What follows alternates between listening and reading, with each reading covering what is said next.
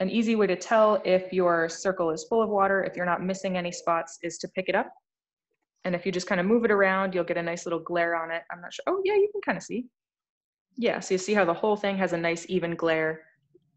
That's how you know that the whole circle is wet.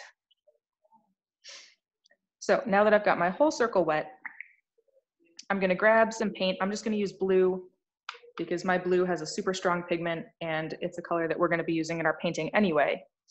And all I'm gonna do is take some of this blue on my brush and I'm just gonna touch my brush right in the center of my circle. Now you can see how the water is kind of pulling that pigment out away from the center. Super cool, right? Yes, it is. Yes, it's super cool. I said whoa the second you did that.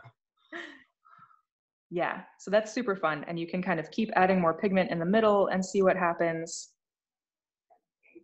But this is basically the, you know, as simplified down as it goes with the effect that we're looking for in the sky. So I'm just gonna leave that one to do its own thing. I've put a bunch of pigment in the middle and it's wet and so it's pulling the water out to the edges. All right. Then I'm gonna do that again. I'm gonna get my brush wet and I'm gonna color in my next circle. And if you drew squares or triangles, it doesn't really matter um, what shape it is. But so again, just getting that all wet with clean water. Um, and to rinse off your brush, um, you can just dip it in the water. Sometimes I sort of smush it against the bottom of the jar a little bit to really make sure that the paint is out. Okay. Then I'm gonna do the same thing, grab some blue.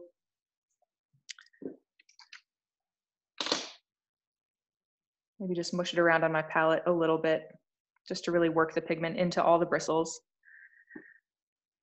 And then I'm going to paint sort of just like a wobbly line across and maybe add some more, more color in. Yeah, and it's doing that same thing. You can see the water just pulling the paint away. And that's super fun. Now, while this circle's still wet, I'm gonna rinse out my brush and pick up some purple. I don't remember if I mentioned it, but the colors that we're gonna be using in our um, our Camel's Hump painting are purple and blue and green. So all of our nice cool colors here. But so I'm gonna grab some purple and then add some purple in. Some of it's gonna go right along the edge of the blue and some of it on its own out in the circle. And this is essentially the effect that we're gonna be using to create clouds. It's just blue and purple and water.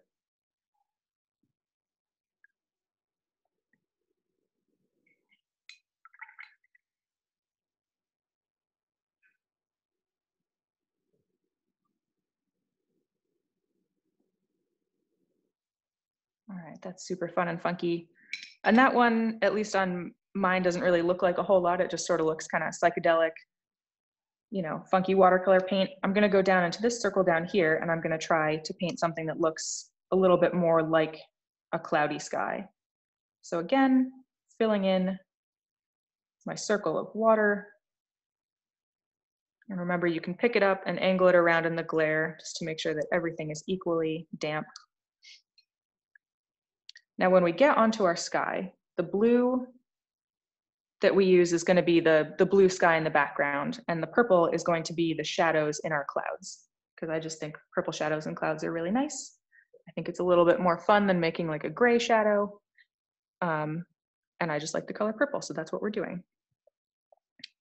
So what I'm gonna do now is just try to imagine sort of a fluffy puffy cloud shape. So maybe my cloud is sort of right in the middle here. And so with my blue, I'm gonna kind of paint in like maybe the top and maybe the bottom of my cloud a little bit.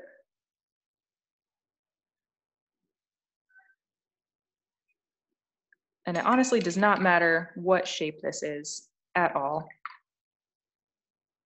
because it's a cloud. There's no like one specific shape that a cloud can be. Now I'm noticing that my paint isn't pulling as much as it did before. I think that my uh, paper's starting to get a little bit dry, so I'm just gonna pick up some more water and Just get a little bit more water going on in there. Cool. Then I'm gonna go over to my purple again, pick up some more purple paint. And I'm gonna imagine that this purple is the shadow of my cloud. So that's gonna maybe be more on the bottom of the cloud so I can work some purple in to like the bottom of this cloud shape.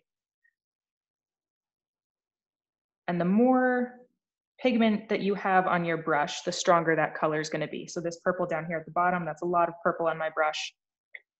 And if you rinse out your brush a bit or have more water and less pigment on your brush, then you're gonna get a much paler purple. And both are wonderful. So I've got like a nice little shadow down there, and then maybe I can just add a shadow in the middle through here. And boom, there's a cloud. Look at that, you made a cloud. Good job, you guys. All right, and if you wanna practice one more on your last circle, let's, let's just go ahead and do that. Let's all practice one more.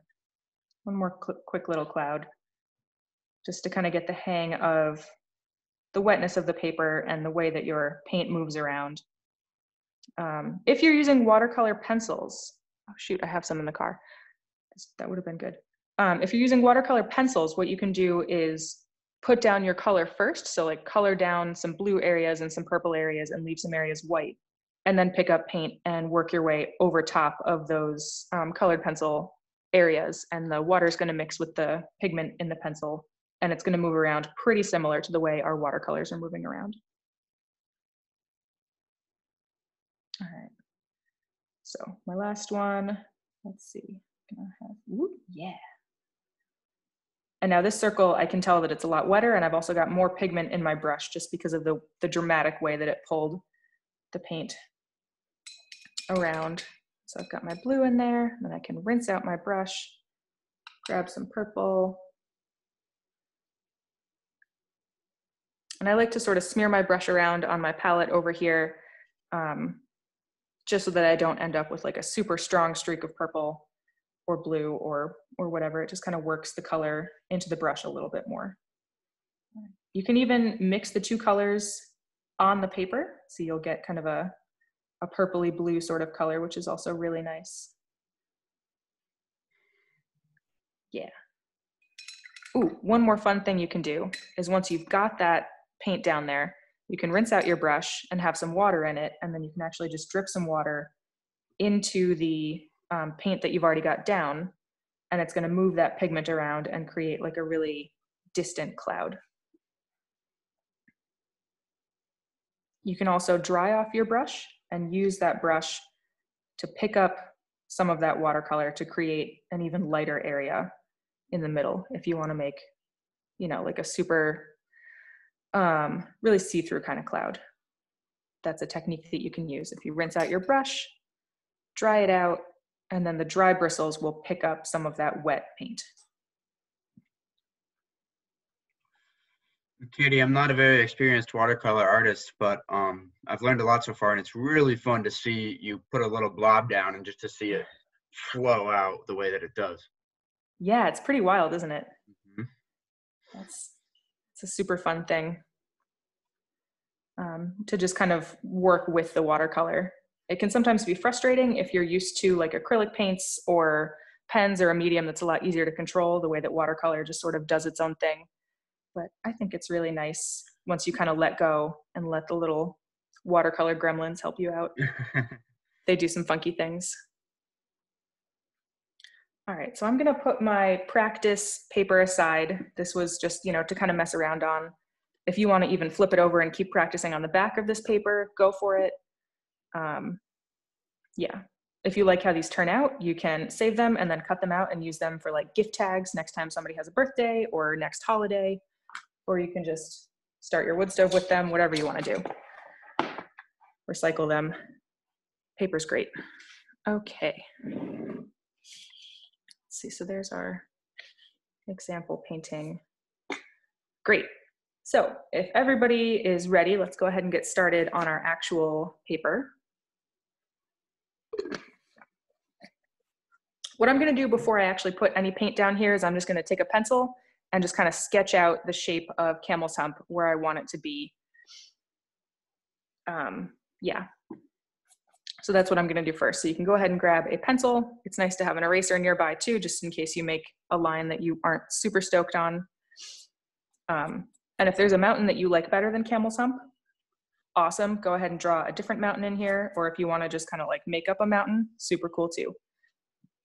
What I'm gonna do first is draw in um, this sort of middle mountain here, our, our middle ground. So on the left-hand side of my paper, I'm gonna make a mark maybe about a third of the way up the page on my tape, um, just so that I kind of know where I'm starting. On the right-hand side, I'm gonna go maybe a quarter of the way up the page and make a mark. So I know that's kind of where I'm aiming for. And then I'm gonna connect these two points with just a sort of a bouncy, blobby, bumpy little line, softly bumpy line.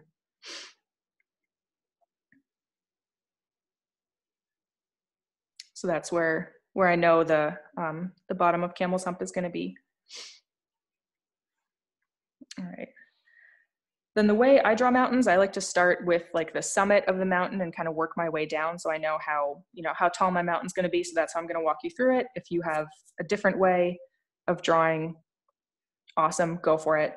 But I'm gonna start with my summit. So it's gonna be um, sort of a right angle, maybe up and to the right of the center of my paper. So just sort of like a, yeah, just a soft right angle. Hopefully you can see that. Then Camel's Hump has a little bit of a plateau at the top, and then it kind of bumps down, and then we've got another plateau, and then we're just gonna kind of wiggle down until we meet um, our middle ground mountain.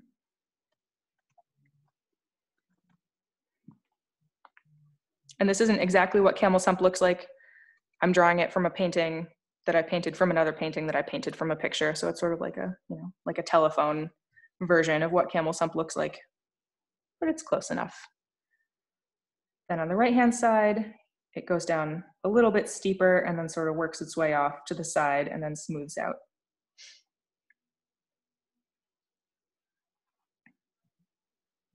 Cool yeah, so don't get too stressed about that. As long as you like the shape of your mountain, that's the important thing.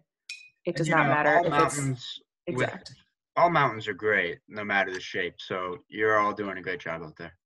Yeah, exactly. Thank you, Lauren. Real mountains, imaginary mountains, doesn't matter. They're all wonderful. All right, so now that we've got our mountain uh, drawn in there, for our watercolor folks, you're gonna take your bigger brush, just because we've got a much bigger space to work on now. Um, hmm. Take your bigger brush, and all you're gonna do is fill in, get your whole sky area nice and wet. So I'm gonna keep picking up more water every so often. And my water's already a little bit purpley blue. Um, which is fine because it's going to dry. You know, our clouds aren't going to dry perfectly white now. I don't really care. It's nice to have some color in there. Um, but if that is really going to bother you that your white clouds are not 100% white, you can go ahead and change out your water. You can change out your water anytime you need to. You know, I can't even see what you guys are doing right now, so you do you.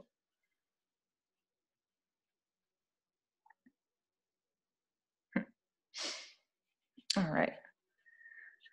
Now, when you've got your um, your sky all all wet, all painted in with water, um, just take a second and kind of decide where you maybe want your clouds to be. So, in my example painting, I've got like a big band of clouds kind of coming in from the top. You know, maybe a, smaller one or two coming in from the right, and then a smaller one behind Camel's Hump on the left. So that's where I'm going to try to leave white areas. Um, yours does not have to look exactly like mine. You can just kind of close your eyes and go for it if you're feeling really funky. But what I'm gonna do is get my brush wet, pick up some blue paint. Oops, and I already splattered on there, so there's some sky already going on that I wasn't exactly planning on, but that's fine. And I'm gonna start in with painting my sky around my clouds. So maybe there's some sky through here. Oh yeah, and look at that. It's already moving around, doing some funky things. I left a little bit of white in the middle of the blue there. We'll see if that actually sticks around and lasts. And then maybe I can make some more, another cloud shape here, a little cloud mass over here. And then maybe just a little bit of sky down here. And you can absolutely go in with a little bit more pigment, a little bit more paint on your brush if you want that blue to be a little bit stronger.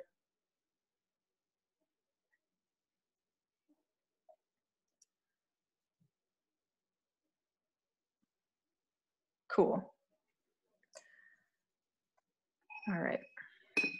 My arm keeps getting in the frame, so I'm moving my water over here. Now remember that everyone's is gonna look different. The paint is gonna move in a unique way depending on what kind of paint you have.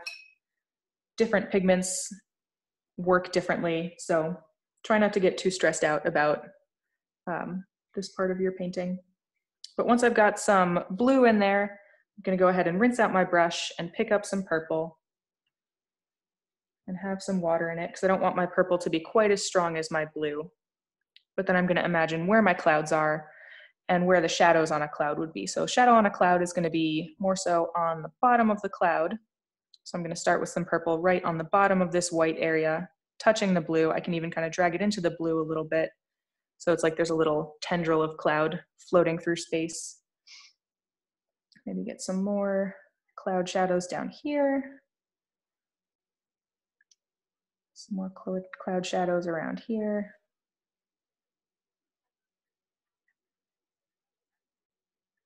Cool. And again, I'm mixing some of my purple and blue together on the paper, and that gets me this really nice indigo purple color. Let's see, and then, and I really like that sort of blue purple mix for these clouds down here at the bottom. These are the clouds that are gonna be sort of farthest away from us. So it's nice if their color is not quite as um, strong. And then what you can do also is rinse out that brush and pick up some purple with more water in your brush, less pigment, so you get an even paler purple and kind of work some of that in there too. If you're noticing that your uh, paint is not sort of moving around in this beautiful fluffy way quite as much, just go ahead and rinse out that brush and add some more water into your paper. Depending on the climate of the room that you're in, or if you're painting outside, your paint might be drying a little bit more quickly, or you might have started with a different amount of water on your paper. So don't be afraid to just put some more water in there. Make sure that your paper is nice and wet the whole time. And just kind of go for it, play with it. If you are using colored pencils or crayons or markers or something that is not watercolor, um, what you can do is similar to what we're doing, but you're gonna have a lot more control over where your clouds are and what they look like. So if you've already put your clouds down, fantastic. If not, I'm just gonna draw like a basic cloud shape for you and you can draw a couple of these in your sky and then just sort of color the blue around it. Um, but when I'm like drawing clouds, what I like to start with is kind of a flat bottom for that cloud. And it doesn't have to be like a ruler straight line. It can have kind of a, a little bit of a wobble to it. Um, and then it sort of works its way up and gets like puffier in the middle and then less puffy as it goes down. So this one on top is a little bit of a more cartoony kind of cloud. It's got our nice little, you know, like a Toy Story kind of cloud. It's got bumps and stuff like that. If you want it to be a little bit less um, cartoonish, go for that same idea of a shape, but just with a, you know, less angular. So maybe start out with like kind of a bumpy bottom. And then we've got some puffs and then some more puffs over here. And then we're like that. So if you are drawing your clouds, those are a couple different cloud shapes that you can do. Um, really the key to making clouds look good is just to have a lot of variety in them. So we don't want 40 of this cloud right here. We want to have maybe this cloud, and then back here we have a similar cloud, but it's smaller you know, maybe just like a little wispy thing over here like that. Yeah, so those are some ideas of what clouds could look like. And then you would just color everything around the clouds in blue and then maybe really lightly take some purple and work it into the bottom of the cloud and just create a few little kind of bumps in the cloud also with your purple or with blue or with any color that you want. Um, but for my drawing folks, let's see, yes, you can still see that.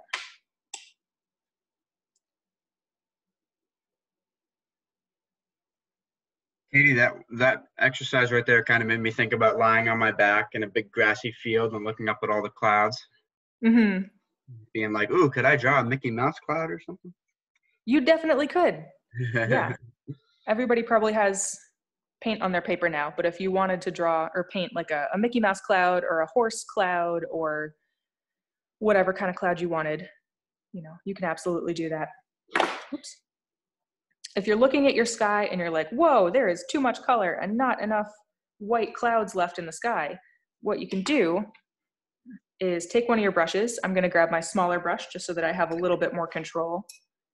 And over here in this area, I left a little bit of white there, but I kind of wish there was more, more white cloud left. So I'm gonna get my brush kind of wet, re-wet that area a bit. You can already see that that paint is kind of pushing, or the water is kind of pushing the paint away in that area.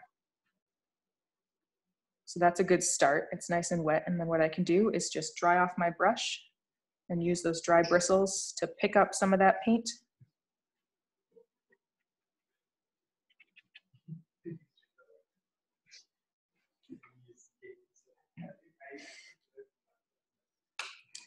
One more thing that you can do if you really want to pick up some color is tear off a piece of your paper towel and just blot up some of that cloud. Mhm.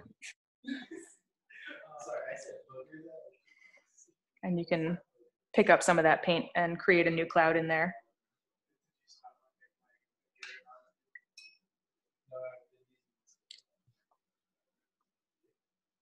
All right, and since I made that new cloud, I'm gonna throw a little bit more purple in there as the shadow.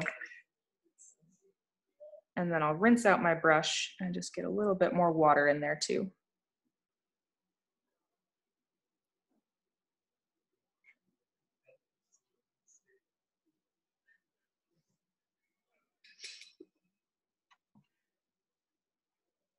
All right, so everybody take a few more minutes and just kind of keep playing with your sky.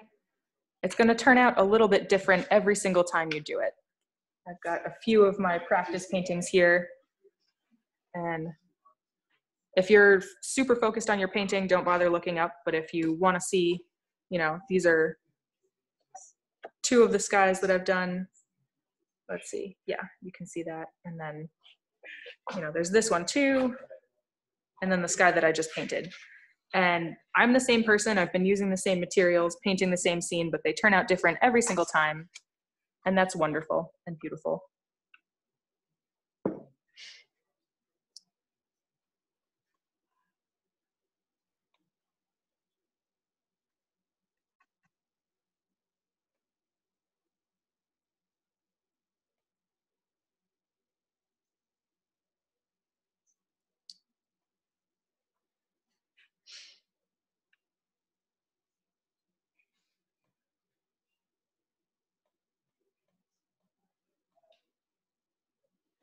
All right, so if everybody wants to take another minute or so to finish up with your sky, um, go ahead and do that. And then we'll get started on the, um, this kind of background mountain area down here. Kati, you know what I was just thinking about was um, who'd have thought that this time of year right now you could be painting a white summit on the top of Camel's Hump um, That's true. Instead of a rocky one. Yeah. Yeah, you absolutely could.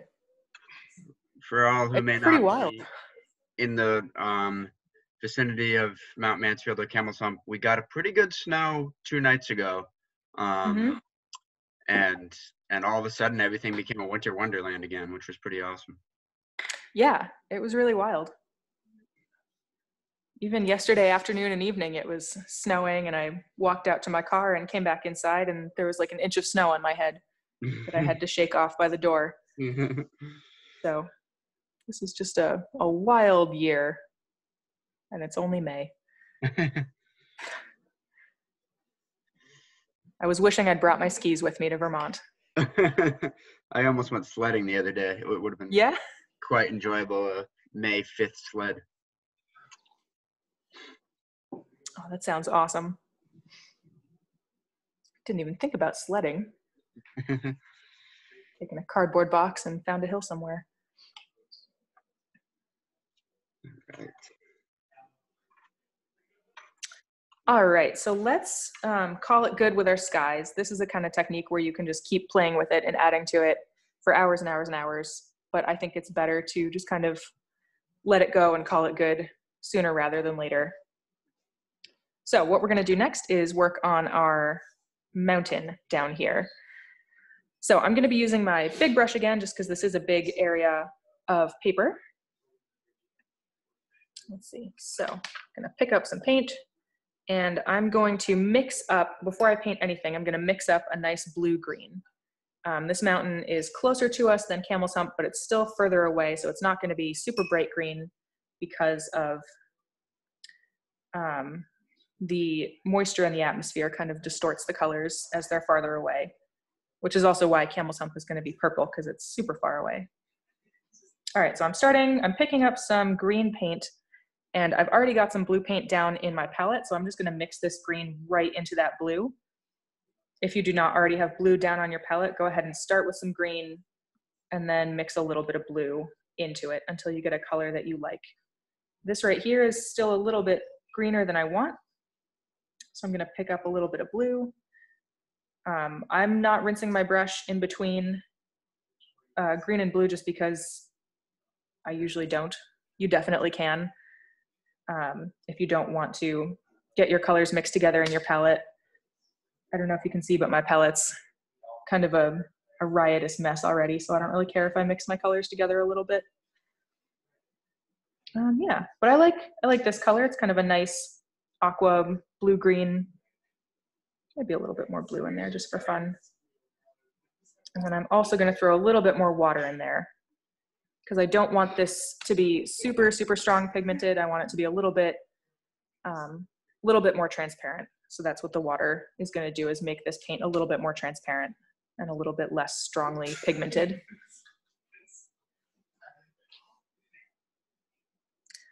All right, once I've got that paint all mixed up, once I have a color that I like, I'm just gonna go ahead and fill in this entire section below this line that I made in the beginning.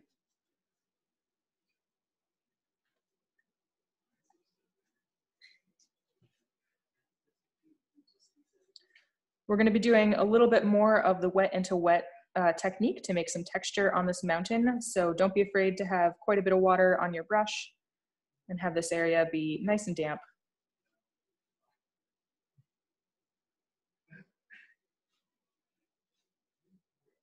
There's not really any specific uh, brush stroke that you need to use. I'm just kind of going back and forth. Um, because that's gonna fill it in the quickest.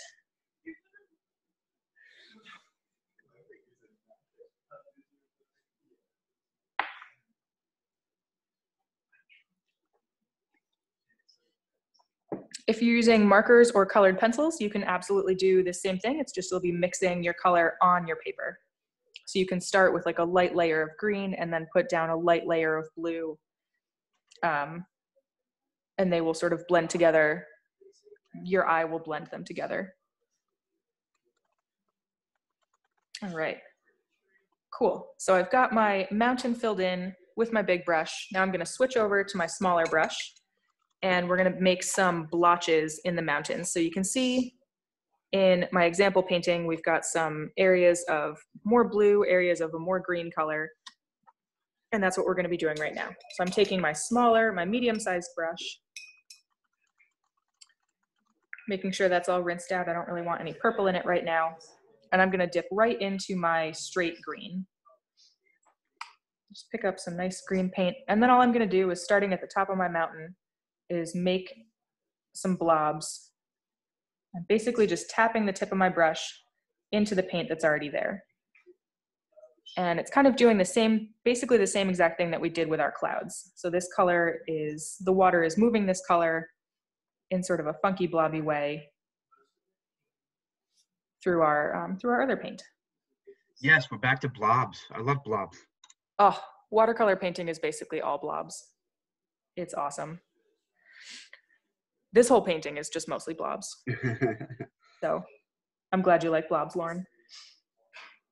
All right, so basically I'm just gonna add a few sections of these in here. You can kind of do them willy-nilly, or if you want to, you can imagine sort of where the ridges of this sort of intermediary mountain would be. So maybe there's like a ridge here, and then maybe another, another ridge over here.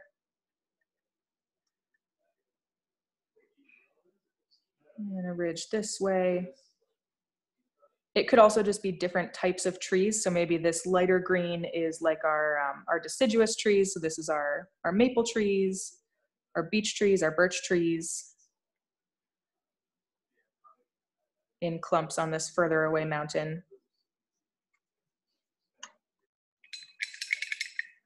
And then once I've got some light blobs of lighter color in there, um, I'm gonna mix up a little bit of a darker color. So I'm picking up some green and then I'm gonna pick up some more blue and make, ooh, that's quite dark.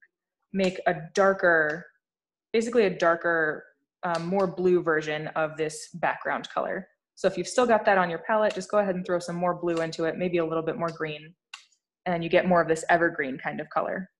And so then I'm just gonna go ahead and do the same thing. I'm gonna pick some places where this color is gonna be. I can even sprinkle some of this darker color in the areas where that lighter green already is, if I wanna get super wild with it.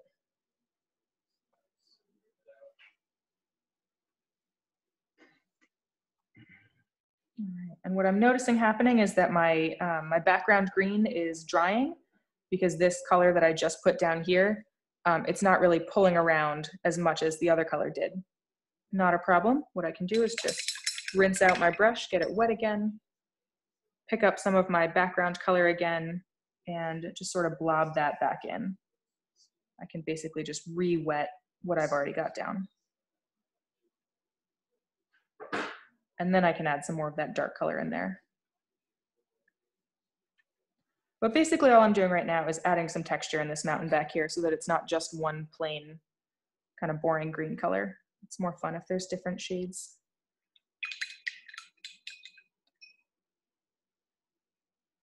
And I'm not really bringing it all the way down to the very bottom. You absolutely can, but I'm kind of leaving this bottom area untextured. Um, because when I paint the trees, they're gonna come all the way down to the bottom.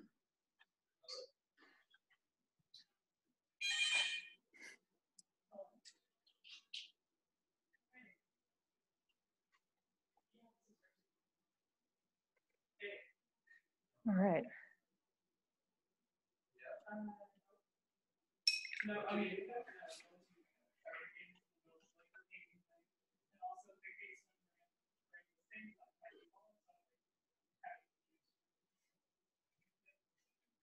If you want to get super funky, you can add some more blue in there. Make an even darker area.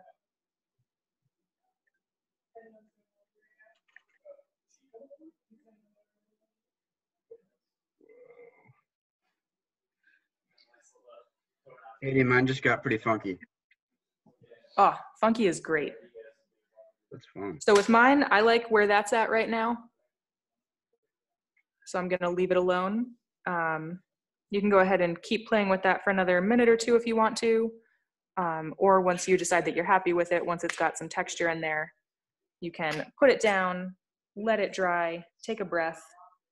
Um, the next thing that we're gonna do is paint our, um, paint Camel's Hump Mountain, but I want to let my sky and my mountain dry first a little bit. So if anyone has questions, go ahead and throw them in the chat. Um, if you want to show me your painting, go ahead and do that. Yeah, if you all have something done, put it on the screen. We'd love to see what it looks like. Yeah. Ooh, that's pretty. Ooh, nice, Morgan. I like the fall colors. Let's see, Who else? Okay.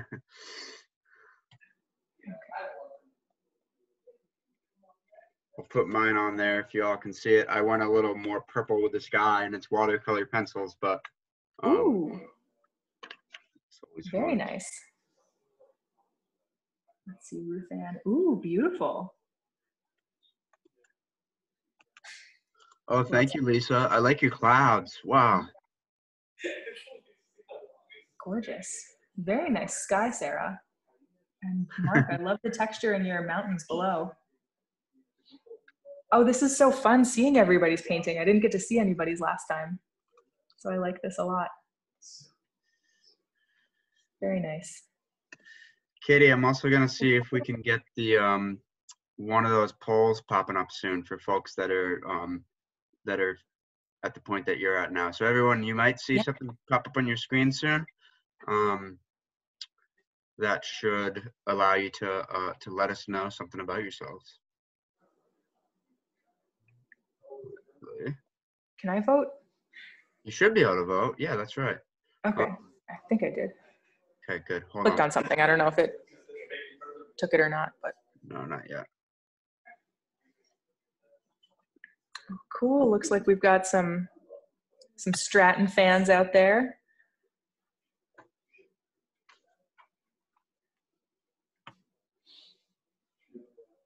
Awesome. Oh.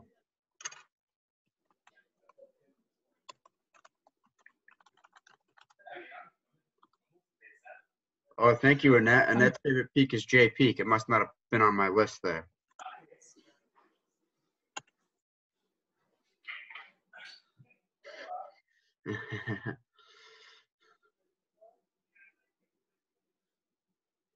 Nice. All right, looks like Mansfield is our winner.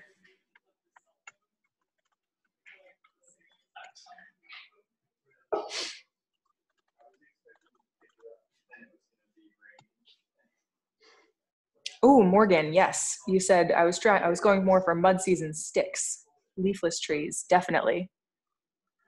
That is that is pretty much what it looks like out there today. It's the leafless trees.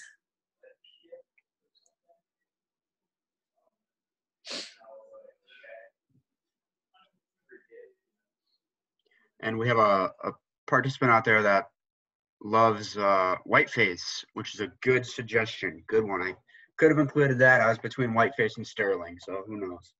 hmm I mean, there's just there's a lot of mountains on the long trail, so That's it's hard true. to have them all. The other day, I got back into that mind thought of um, how many how many drainages we might have on the long trail, and Oh God. for sure a big number, Kati. yeah. Oh, definitely. I know Amanda, who was the Killington Ridge Runner last year. Um, for those of you out there who don't know who Amanda is, I think she had like a one mile stretch of trail in her range that had something absurd like 70 or 80 water bars in it in one mile. A good amount of effort in there. Yeah, and if that's just one mile, then there's definitely a lot.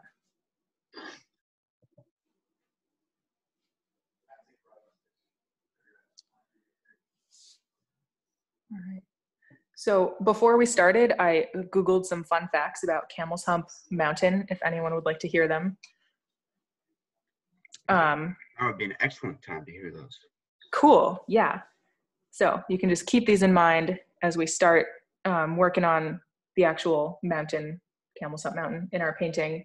Um, it is the third highest mountain in Vermont, tied with Mount Ellen at 4,083 feet. Um, it's the only undeveloped high peak in Vermont. So there's no ski resorts, there's no roads, there's no gondolas. Um, it's a totally wild mountain, which is a super cool experience, especially hiking the long trail. You're going over kind of ski resorts all the time, which is very nice for the views, but it's also super fun to hike over a mountain with no development. Oops. It's nice and wild. Let's see. Almost 20,000 people hike it every summer and fall. So that's a lot of people, a lot of foot traffic.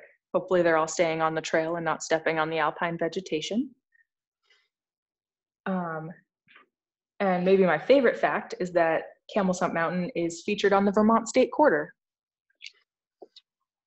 Oh, yeah, that's a good one. I always forget about that. I think that's pretty cool. Yeah.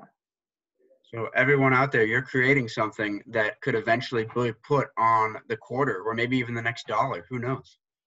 Yeah, your painting of Camel's Hump Mountain could be on US currency.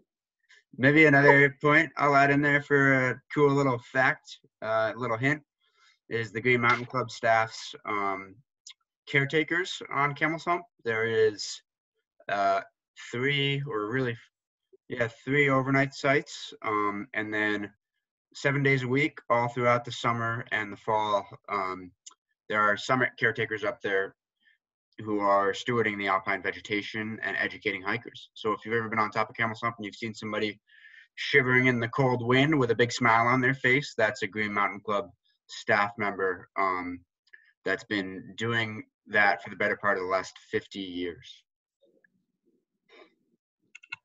That's pretty amazing that we've been up there doing that for this long. Yeah, I mean, the 50th anniversary of the caretaker program was just last year uh, in 2019.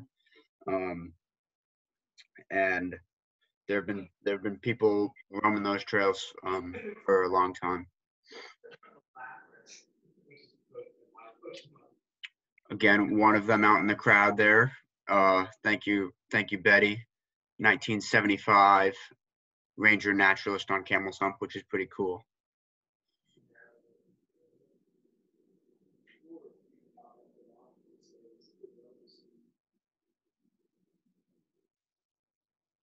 All right, so I think it's time to start painting our mountain now. Um, so what we're gonna do is grab our medium-sized brush and mix up a nice sort of bluey, purpley indigo color. Because um, again, Camel's Hump is further away than this kind of intermediate mountain is. Um, and so it's not gonna be very green at all. It's gonna be quite purple.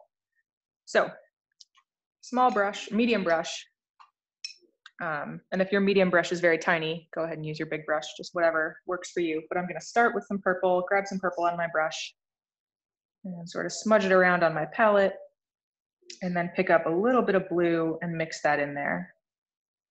All right, and actually that's a color that I like a lot. You can kind of play back and forth, adding more blue or more purple, depending on what you want your color to look like if you've still got some scrap paper hanging around, you can like try it out and see what it's gonna look like when it's on the paper. Test it and make sure that you're happy with it. And then once you've got that, um, that color figured out, basically you're just gonna color in all of Camel's Hump Mountain with this color. And your sky should be quite dry at this point, so don't be afraid to layer that purple over the sky a little bit just so that we don't get like a white line in between your mountain and your sky. Um, it's nice to cover up all the paper. And I like to start up at the top of the mountain and then kind of work my way down. Um, maybe add a little bit more water into that paint as you work your way down so that it's a little bit, a little bit stronger color right up at the top and then it kind of fades out towards the bottom a little bit more. And if you're like, whoa, that is just, I can't handle that right now, that's totally fine. Don't worry about it.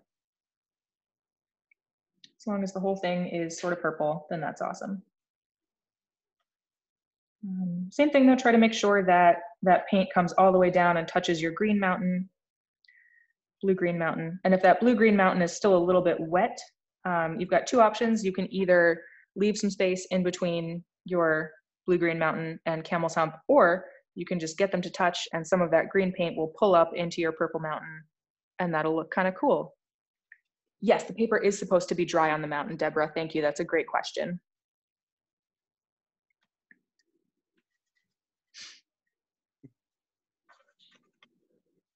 All right.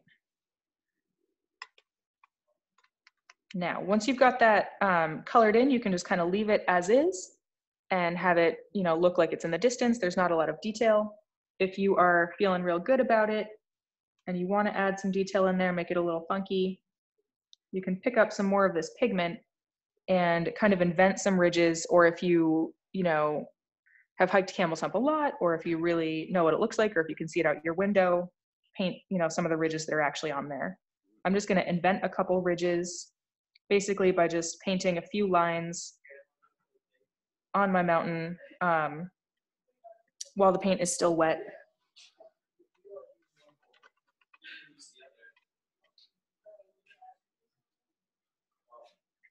And this is kind of an optional part. You don't have to do this. Oh, and if you want to paint Camel's Hump with snow on the summit, um, forgot about that until just now, but you can just kind of leave this somebody spot empty if you want to pull some of that paint off to make it kind of snowy. I'm gonna make it snowy just for kicks. Even though all this, this stuff is green down here, but it's gonna be a freak snowstorm in the middle of summer, which is why you should always be prepared with plenty of layers when you go hiking in Vermont.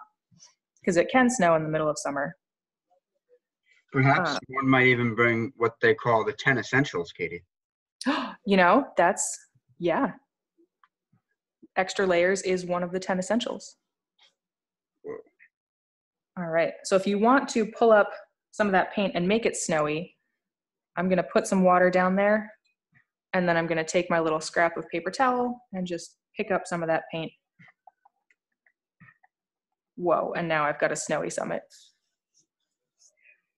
If you don't want your summit to be snowy, then don't do what I just did, but if you think that a snowy summit is cool, you can definitely just kind of use some of your water on your brush and pick up some of that purple paint. If you're maybe a little bit tired of snow because it is May 12th and you're feeling like your art should say goodbye to wintertime, do whatever you'd like.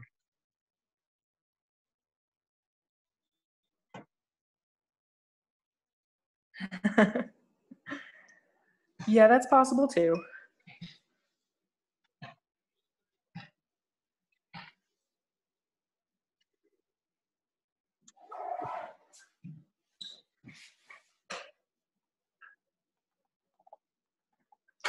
All right, cool. That's kind of snowy and funky. Now I'm going to add a little bit of paint back in here, just like the rocks on the summit. Boom. Okay, that's all I'm doing now.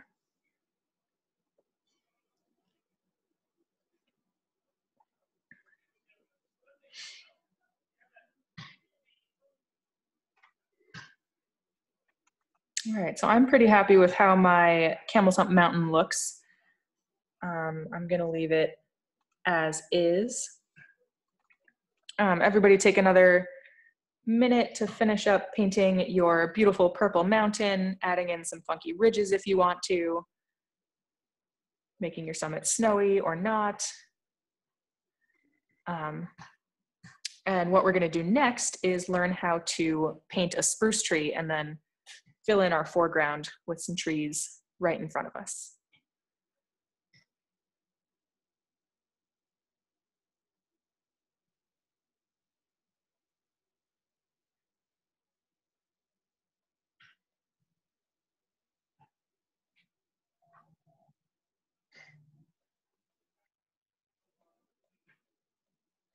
Kati, our, you're you're still out there, but your screen got kind of smaller for some reason for me.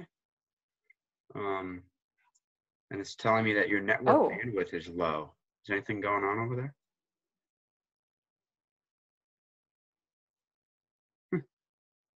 Um, Oh. no, actually, Okay, maybe it's just. um, the other people here are outside right now, Oh, great. so I don't think they should be using the Wi-Fi. All right, don't worry about it. Okay. Oh, yeah, I see that too. Okay, I can still see just fine as long as everyone out there is still good. fine for Morgan. Cool. Yeah, if anyone is having trouble, let us know. Good. hmm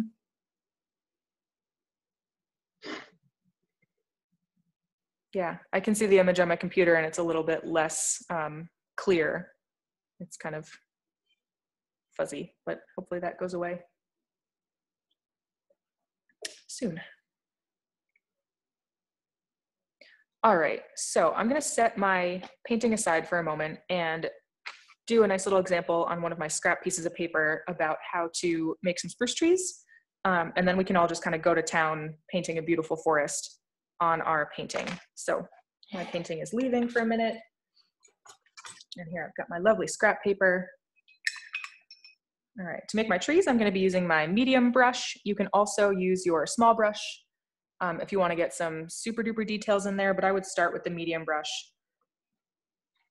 just because um, of the size that I want my trees to be.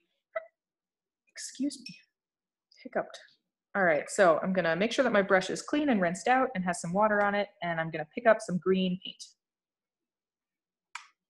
Green paint.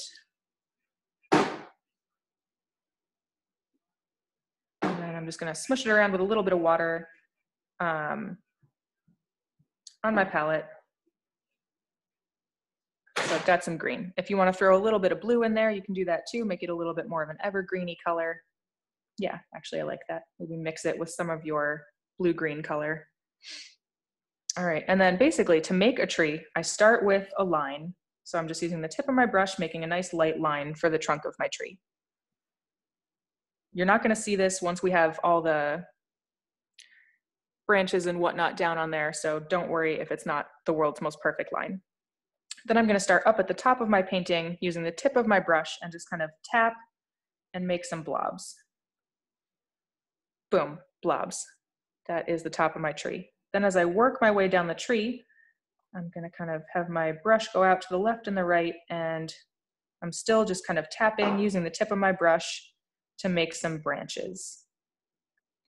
As I go down the tree, I might pick up some more paint if I start to run out. But my branches are gonna gradually get further or kind of go wider and wider. And the center of my tree, there's gonna be more, um, more branches in there. So like this area in the middle is gonna get more filled in. Does that make sense to everybody? I hope it does. Okay. And as I work my way down the tree, I'm going to use more pressure with my brush, bigger blobs, maybe pick up some more paint whenever I need to. And just kind of keep working my way down. And there you have a tree. what we can do is a little bit more wet into wet technique to give this tree some more character. Um, so I'm gonna pick up some of my blue-green color and kind of just pick some areas that are gonna have shadows. So this is maybe where the branches crisscross. And I'm gonna add some shadow in there.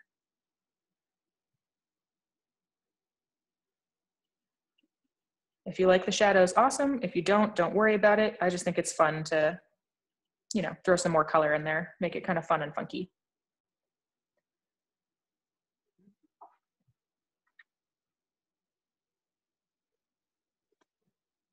Yes, Mary, I'm using my medium brush. And thank you, Susan, for answering her question as well.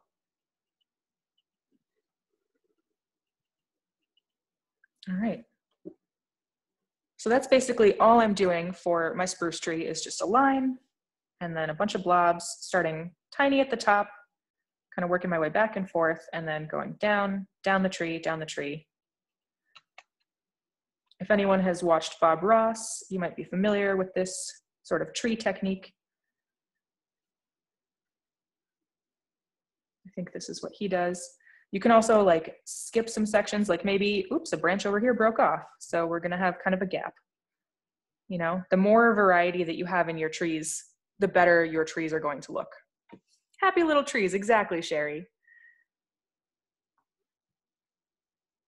Okay, so now that I've got, that's my, my little tree example, I'm comfortable with how I'm making trees. I'm gonna get back onto my big painting. And I'm basically just gonna fill in this lower area with a bunch of trees. You can do as many as you want, as few as you want. If there's like a part of your mountain that you're like, whoa, that's the best mountain anyone's ever painted, don't put a tree over it. You know, let your beautiful mountain shine through. And if there's a part where you're like, eh, doesn't look so great, put a tree on top of it. Trees are so great. Yeah. And since we are painting these trees on top of an area that's already painted, don't be afraid to get a little bit heavy handed with the pigment in your brush. Maybe use a little bit less water and a little bit more paint. Um, I'm gonna work my way from left to right because I'm right-handed. If you're left-handed, you might wanna go back the other way just so you're not like smudging what you've already done. Uh, but basically, I'm just gonna start here and make a tree. So again, small blobs up at the top. And then I'm kind of just working my way down the tree, making some nice little branches, picking up more paint when my brush starts to run a little bit dry. And as I get further and further down, I'm not as concerned about the detail um, just because I am gonna have a whole forest where the trees are all sort of mushing together at the bottom. So I'm really only concerned with the detail kind of in the top half, top two thirds of the tree. So picking up some paint, maybe adding some blue in there. And my next tree is gonna be significantly shorter. If you want to go across your entire painting and plan out every tree before you paint it on there, awesome. If you want to put like all your trunks in there all the way across, go for it. I like to just kind of go one at a time so I can kind of decide like, okay, that one's big, that one's small. Maybe I'll do one that's a little bit bigger over here. And every few trees, I'm gonna add in some shadowy details too. So I'm getting my my nice green in there. And as I go further down, I'm using more pressure with the brush, being less concerned about my details. And then I can get kind of a darker blue-green color and add some nice shadows in here also. And I'm not stressing too much about where exactly these shadows are going because the paint is still a bit wet. Um, so it's just gonna kind of pull that color around anyway a little bit. Now, if you are using colored pencils, I don't have any colored pencils with me, but I do have a regular pencil. Um, to make a tree with colored pencils or with markers, you'll start the same way with a nice line. And let's see, you can kind of do it two different ways. So you can start at the top and kind of do like a little Christmas tree thing. Just kind of scribble your way out to the side making some sections where there's like a branch that sticks out and some places where there's less detail where it kind of comes in a little bit. But as you work your way down the tree, you want those branches to get a little bit longer, go out a little bit wider. So we've got sort of like a Christmas tree thing going on here. And I'm basically just scribbling. And then I'm gonna try to mirror that on the other side. So I'm starting really tiny up at the top. The top of the tree is nice and small. And then as I work my way down the right-hand side, scribbling these trees out to the side, or scribbling these branches out to the side. So I think this is more, maybe more of a fir tree than a spruce tree. It can be whatever kind of tree you want. This is your painting, your little world. So that's one way to draw a tree. The other way is kind of the opposite. So instead of the branches going down like this, they're gonna kind of go up. So again, I'm starting at the top, I'm scribbling up, and then I'm basically just doing that same thing, but opposite. So I'm scribbling, scribbling, but my branches are going in a more upwardly direction. Scribbling, scribbling. And I think, I think this is more of a spruce tree, the way they're kind of sticking out to the top. And as you go down the tree, they're gonna kind of dip down and then scribble up a little bit more. Have a little bit more of that kind of curve to them. Again, up from the top. And I like to make sure that I do have some variety so it doesn't just look like, you know, your perfect little Christmas tree. It's nice for there to be some imperfections in this tree because we're out in the woods, we're on a mountain somewhere. These trees do not have the easiest life in the world. It's winter in Vermont a lot of the year, even still in May sometimes. So these trees, you know, don't necessarily grow in the most perfect, perfect, beautiful Christmas tree way. All right, so folks with markers and pencils, that's your, your technique.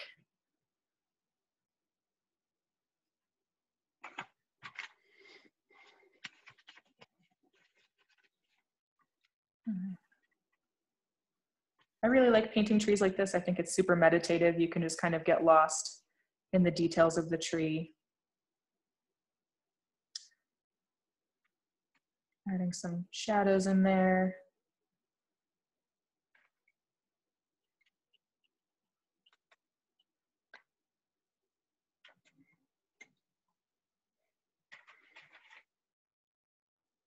Another thing you can do too, if you are feeling like your tree is not really standing out um, enough from your background, like this tree, I feel like it's kind of blending in uh, to my background a little bit. What I'm gonna do is add some yellow into my green to kind of brighten it up a bit. So I'll rinse out my brush, pick up some yellow paint off of my palette,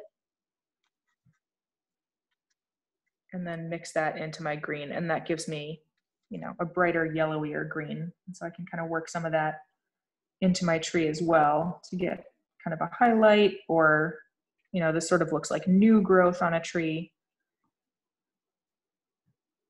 You know, those like really kind of yellowy bits at the end of the branches where it's growing new. Um, needles is the word I'm looking for, not leaves. Yeah, so have fun with it. Don't be afraid to put some more colors in there.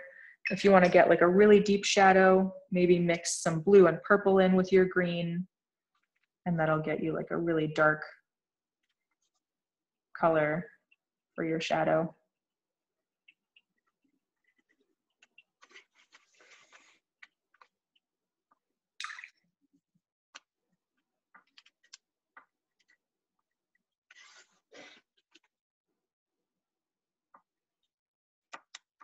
Just remember to make them all a little bit different. They can touch each other, they're kind of growing in together. Kind of like the clouds, Kati, right? You're not gonna have two exactly identical trees out there.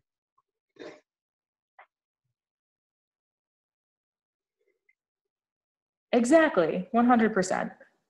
There's like a pattern that trees grow in, but yeah, like you said, they're never exactly the same and whatever you paint them like, they're going to be beautiful and look like trees.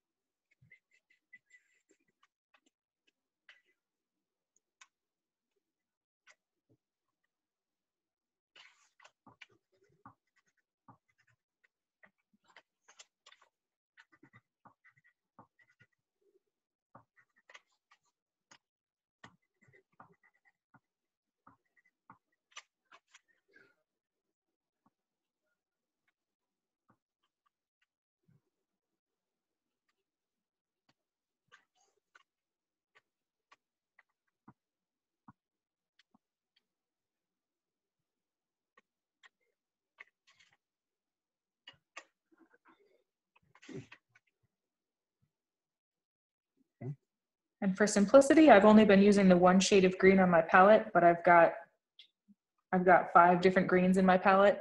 So if you've got different shades of green, go ahead and play with those. Basically, the more, more variation in color and texture and shape you have, the better.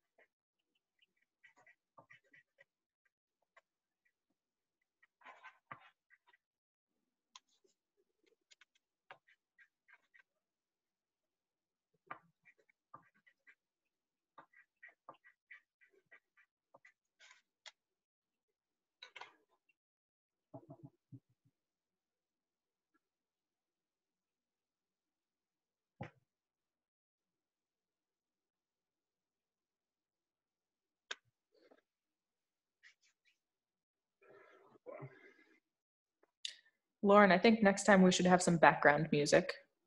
No, I'm. I feel like I'm meditating right now. Um,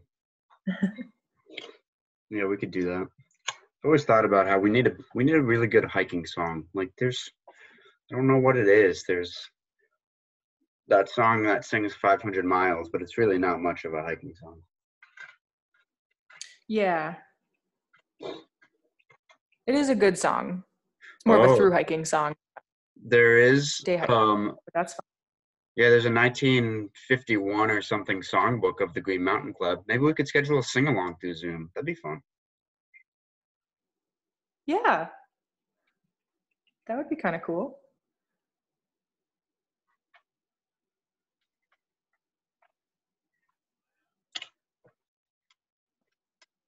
Do you know, are they songs about the Green Mountains Yeah. or yeah, about are. hiking or? It's it's it's quite the little book. Um, maybe we can have a maybe we can test out a staff sing along before bringing it live to the whole public. Though I don't know how good our cue is going to be. Um,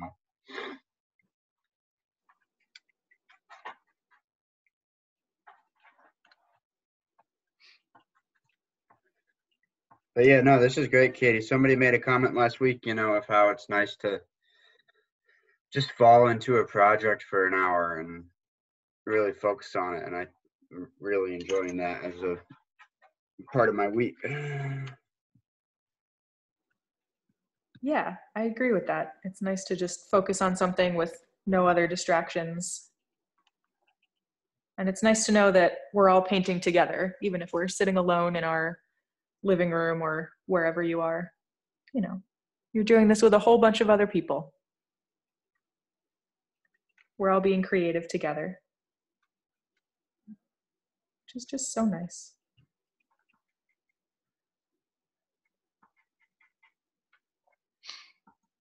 All right.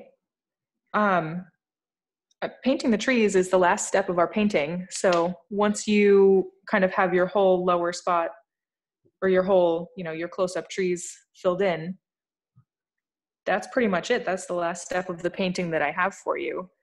Um, and it's a nice last step because you can kind of keep playing with it as long as you want to. If you want to add more layers of trees in there, go for it. You can kind of mix a little bit more blue and a little bit more water into your color and maybe do like a layer sort of behind and in between some of your trees. You can do another layer of smaller, darker trees in front of the trees that you already have down. Um, yeah, you can go as crazy with it as you want. If you want to grab your tiny brush and a little bit of brown, uh, you can add some like little pine cones into your trees. Maybe some little birds if you want to get super funky with it. But yeah, Yeah. that's pretty much all the direction I have for you. Ooh, Mark Gatewood said, I scraped snow on top with a knife edge. That's super cool. So are you using um, acrylic paints then?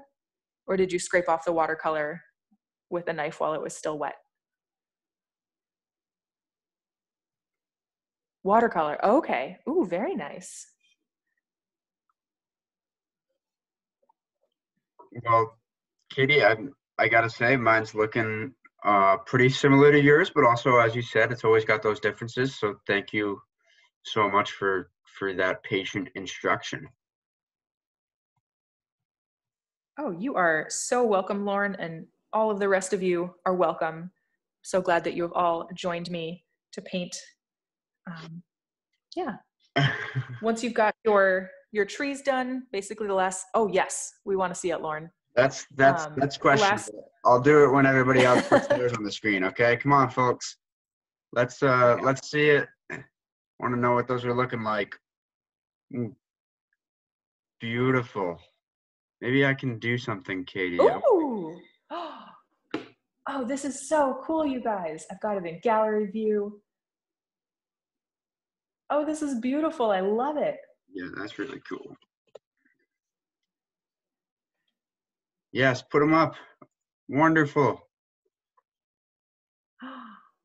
So, so nice. oh, this is so fun. I'm so glad that we have you all having video this time. That was something I really missed last time was not seeing anybody's paintings. So if everyone, please do take a picture of it and send it out. Um, we made a fun social media post last time. With your permission, I'd love to do it again this time, um, so people from all over can see what's going on. And I'll put um I'll put my email contact in the chat box, um, so that you can send it to there. Michael says first painting he ever did. You're so welcome. Thank you for joining.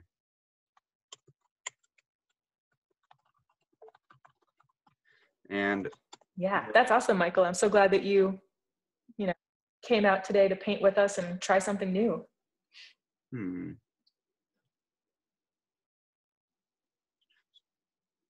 So thanks all for joining. Um, let me say real quick before everyone heads out, um, that the Green Mountain Club is continuing to put on new online events. Um, we have a speaker tomorrow night on hiking the GR5, which is a long distance uh, backpacking trail in Europe. Um, and then on Thursday night, we are doing online outdoor trivia. Um, topics will range from the long trail to natural history to place names in Vermont. Um, so you all should join. It's been really fun. It's been a great way to stay busy on a Thursday night during uh, social distancing. So that's this week. Um, and next week and the week after, we have some great speakers. We have our Hiking with Kids 101 workshop. Um, so if you've got a two to 10 year old or say, really anyone, um, and you want to learn about how to get little kids out on a long trail or hiking in Vermont, then you should join for that. It's a great time. And the other one that we have coming up is um, is an individual named Ben Goldfarb who wrote a really cool book on beavers, um, and he is going to be speaking um, through Zoom about beavers and their influence on landscapes in Vermont. So y'all should join that. You can see that online. I'll put the link in the chat box. But thank you so much, Kati, for for leading us, and thank you everyone out there for joining.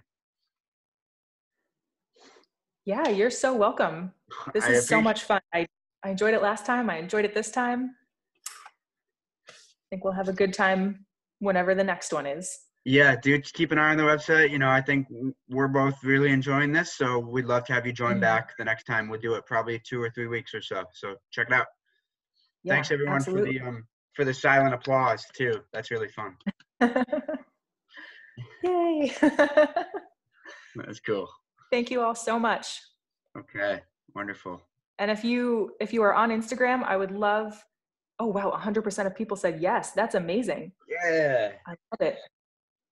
If you're on Instagram, I would love if you could tag um, my account and the Green Mountain Club if you decide to share your paintings uh, that way so that I can see them all um, on the internet. I'm at Watercolor Wanderer on Instagram, and the Green Mountain Club is at Green Mountain Club on Instagram. So show off your beautiful artwork for the world to see.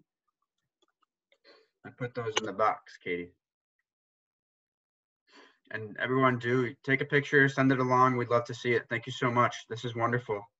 Great to have you again. If you have any questions or anything, put them in the chat box. We'll both hang out for a little bit. Um, thank you to Mhm. all of you from all over the country who joined. Who knows? Maybe someone's international. So um, it's great to have you here.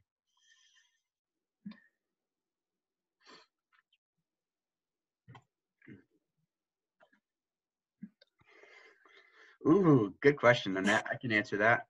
Uh, the Beaver program is going to be on Tuesday, May 26th. Um, and Ben Goldfarb, uh, who wrote Eager, um, will be joining us from Seattle, Washington, and he'll be presenting from there. Really excited about that. We also have recordings of many of the other workshops that we've done. Um, so if you go to the Green Mountain Club's website and you go to education page, you can find lots of other great things on there um, from previous events that you want to check out. Everyone, send your picture to lcourier at greenmountainclub.org. I will receive them all, collaborate them into the most wonderful computer file I've ever seen, um, and you all get to see it.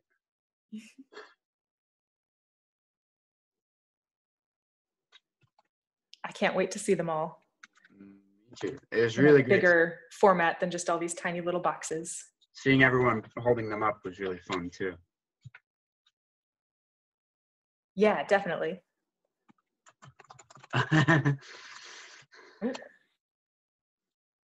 Oh, nice one, Becky. Beautiful. Mary, I like the Yeah. waviness of your clouds. That's really great too. Yeah, that is good. Oh, this is so fun. Mom, can you hold yours up again? Beautiful. Look at those gorgeous spruce trees. I love it. Oh, Oh, wow. man, that looks great. I love the variety in your trees. Melinda, I really like the the the tape on the side gives it like a really nice contrast. That's kind of cool too. Yeah. Oh, something really fun is when your painting is all dry to peel the tape off and then you just have this like beautiful clean line at the bottom. I forgot to tell everyone to do that last time. But when you send in your pictures, peel the tape off first so that we have this lovely clean line around the edge. And that's also a good place to sign your painting. You can just take some pencil and write down like your name and the date and the painting, the title of your painting, And if you don't want to do that, that's totally cool. This is your artwork. You do whatever you want to do. Kati, someone asked in the chat box. Um, the question is, can you talk about using salt as an effect? Do you know anything about that? yes, using salt is super, super fun. Um, there is some sort of science involved to it. I don't know exactly what the science is, but basically, when you have wet paint, um, so like basically any step of our painting, um, you have wet paint and then you have pigment down. When you sprinkle salt into it, it you get this gorgeous, like kind of snowflakey um, effect. You know what? I'm gonna grab some salt and show you guys. I will be right back. it's a true, uh, true art class here. Um, so great question. If anyone else has questions or inquiries about the Long Trail or the Green Mountain Club, um, or about art, please please write them in the box, and we can do our best to answer them. Um, going on, we'll let it go for a couple more minutes, but I do know we all got places to go and dinner to cook and dogs to walk and whatnot.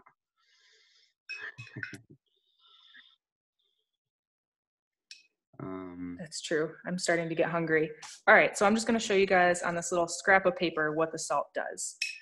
Um, it has a different effect when you use different pigments. So if this is something you want to do, just kind of play with it and experiment with it first.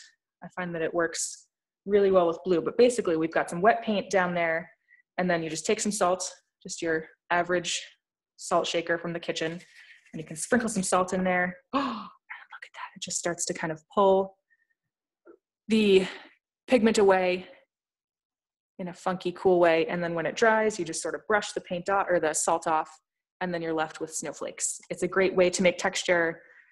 It would have been another good way to make texture in the distant mountains. It's a good way to do a night sky. Um, it's a fun way to make snow, water. You can do. You can use it for all sorts of fun effects.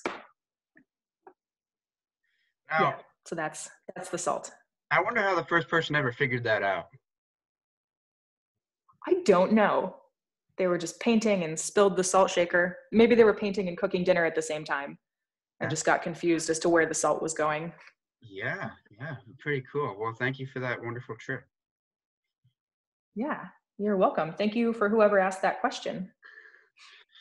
Yeah.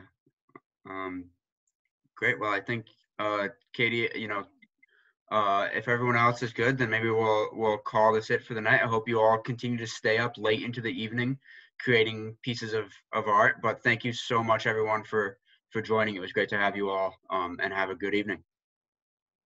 Yes, absolutely. And special shout out to my family members Melinda, mom, dad, Becky, Francine. It was really nice to see you all um, over the internet, and I love you all. And I love all of you that came and painted with me, but just not as much as I love my family. But you're all great. I'm going to stop talking now. Hi, Kati's family. Thanks for joining. Thank you, everyone else. You're all important too. Have a great, uh, have a great rest of your night, and um, we'll see you next time. Okay. Let's see. Bye. Thank you all. Do I-